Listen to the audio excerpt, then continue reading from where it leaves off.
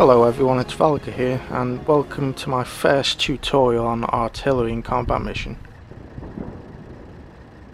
Now as you may have just seen, the mortar only has 6 rounds, which uh, isn't an awful lot. So what we're going to do first is check our mortar's ammo bearer, which so happens to have 9 high explosive rounds and a smoke round on him. But it's not much good in being in that building all the way over there as uh, the mortar can't use those rounds. So what we're going to do, we're going to send them over to the mortar and uh, when he gets close enough we'll check on the mortar's ammunition and hopefully it will go up from 6 to 15. So let's see what happens now. And there we go now we can see that the mortar has access to the ammunition. So it's always a good uh, idea to keep the ammo bearer close by to the actual mortar in battle. So let's go over to the forward observers and call in a fire mission. But we can't do that for the simple fact that there's no way to communicate with the mortar team. So of course we'll have to get a radio to the mortar team so they can actually get instructions.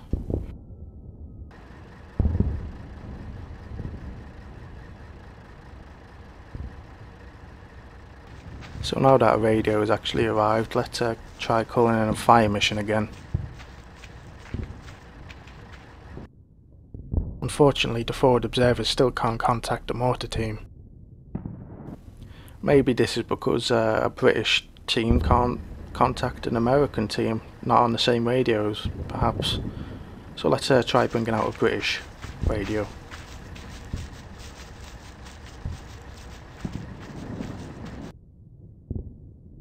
Well, yet again, it's still the same.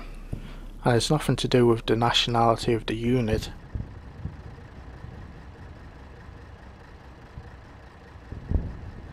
As we can see here, this British officer, he belongs to A company of the 4th Battalion, where the actual mortar team is in the support company of the 2nd Battalion. So the basic reasoning is that the forward observer is trying to contact the support company but there's no radio from the support company near the mortar team. So for this to work we'll actually need an officer from the same company near the mortar team.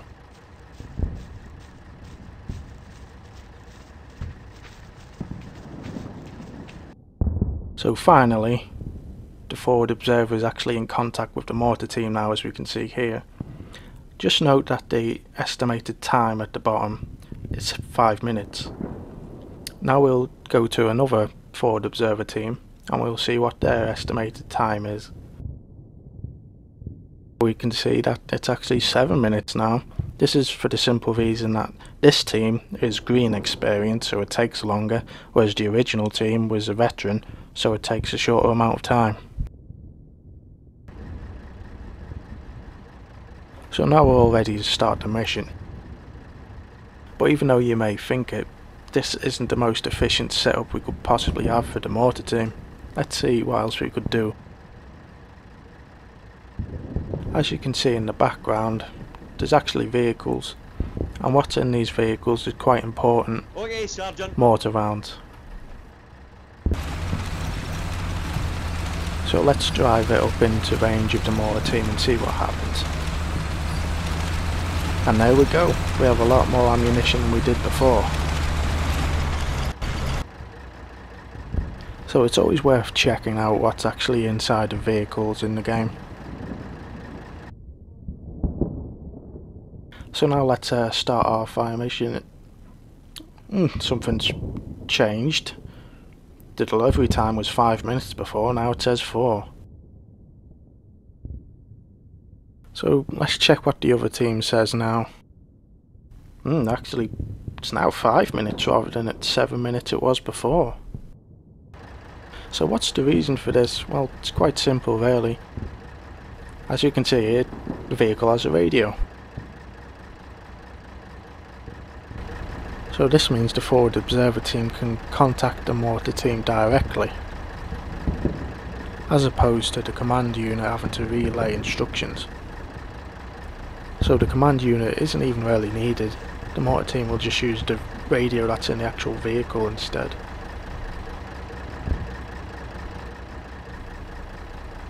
So now what we're going to do is try seeing what happens when the vehicle moves away from the mortar team. As we can now see the radio icon's disappeared. Which means the forward observers can't contact the mortar team anymore. But it's appeared again. That's simply for the reason that as long as the radio is in range, it can be used. Now let's try moving the vehicle back a little more. As we can see the radio has disappeared again and it doesn't come back this time. That's because the vehicle's too far a distance to be used. The same goes with the ammunition. The usage distance is around 20 metres. So if we move the vehicle back we can see the ammunition's available again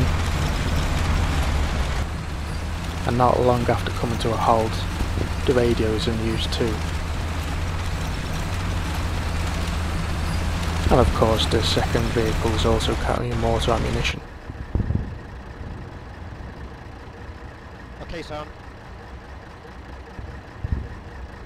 And as we can see the driver isn't needed to be in the actual vehicle to use the radio or the ammunition that's stored inside. So now that's all done, we'll call in a fire mission on the barn. We'll go through the different kinds of fire missions we can do in the next video. Hello, fire mission, over! Now we'll talk about the stages of the fire mission. It starts off with the receiving stage. With the current setup, this should take between 1 and 2 minutes with direct communication to the mortar team. It was more than 2 minutes without direct communication through the command unit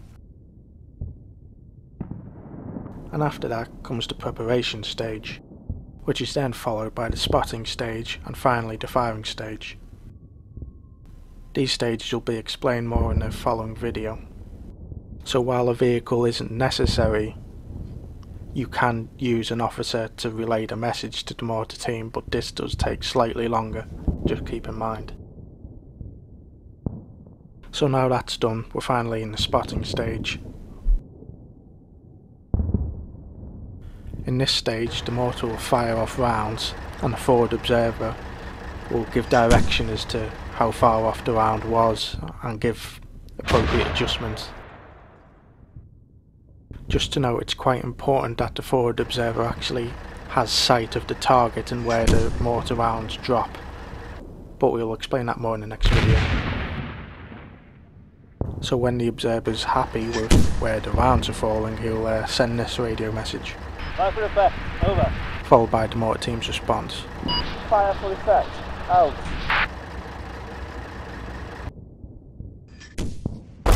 Now the round should start falling on target.